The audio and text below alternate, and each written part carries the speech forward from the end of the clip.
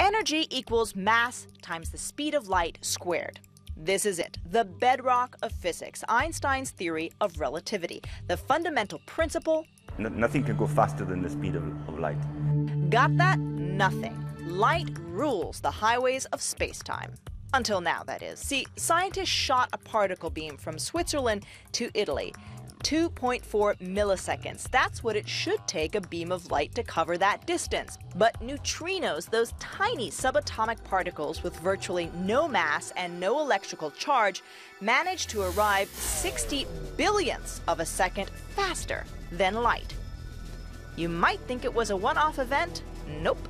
This was repeated at least 15,000 times, which in ordinary circumstances would make this a formal discovery. But this is such earth shattering, mind bending stuff that scientists have called for help to explain what in the universe is going on.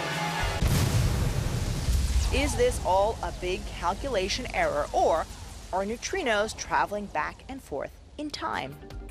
Imperial College physicist Martin Archer explained it to us at London's Museum of Science.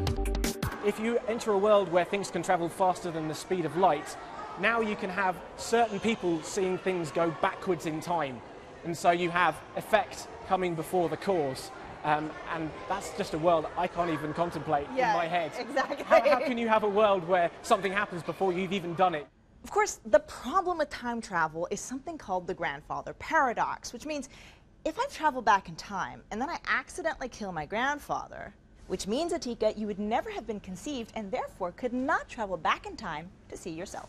That's where you're going? That's right. 25 years into the future. I've always dreamed of seeing the future, looking but beyond my don't go back to the future trying to break the speed of light with 1.21 gigawatts. Scientists are cautioning the results still need to be duplicated in another lab and confirmed. Then you can panic. Atika Shubert, CNN, London.